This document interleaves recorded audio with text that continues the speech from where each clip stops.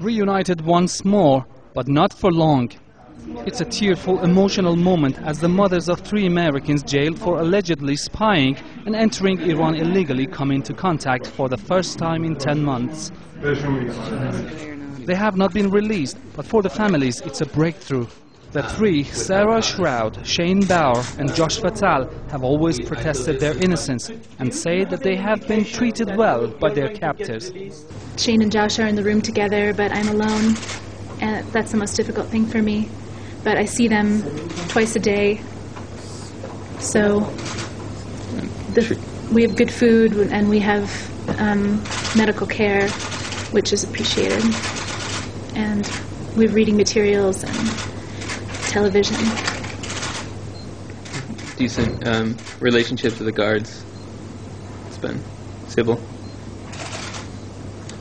been really grateful when once you start getting books that really uh, help the prison experience a lot. Yeah.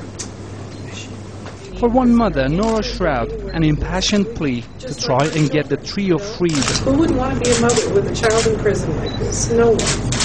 She also showed some sympathy for Iranians imprisoned in America. we know, and you know, we really feel very sympathetic for any Iranian prisoners that are being kept in the United States. Uh, we talk about this constantly.